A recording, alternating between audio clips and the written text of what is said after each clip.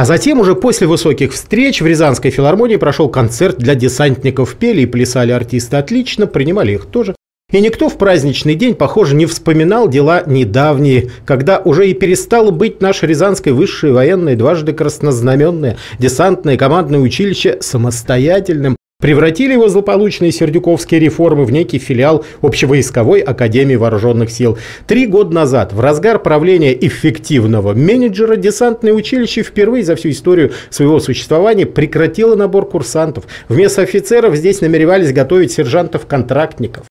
Нет, не вспоминали об этом в праздник. Не вспоминали, как в грустные и шокирующие недавние реформенные времена рушилась система высшего военного образования в России. Оно, кстати, до вмешательства бывшего министра обороны Сердюкова считалось лучшим в мире. Так называемые реформаторы успешно осваивали миллиарды бюджетных рублей, выделенных на изменения в армии. Теперь коррупционное разоблачение, все новые и новые сведения о воровстве и злоупотреблениях. Народные деньги ухнули, как в песенке, по широким буржуйским карманам, а сам Анатолий Сердюков перестал быть министром и осваивает карьеру вечного свидетеля по коррупционным делам в военном ведомстве.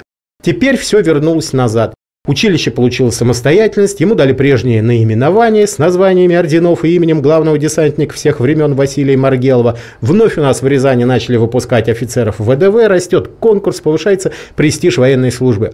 Так что пусть выступают артисты, пусть аплодируют курсанты, пусть приезжает высокое начальство. Лишь бы там наверху понимали, что система обороны – это не место для коммерческих экспериментов бывших продавцов мебели. А то, что на возвращение прошлого статуса и устоявшихся норм в системе военного образования, то есть на возвращение того, что было разрушено, опять идут народные деньги из бюджета, так это ничего. Российский народ давно привык платить за все самую высокую цену в мире, двойную и тройную.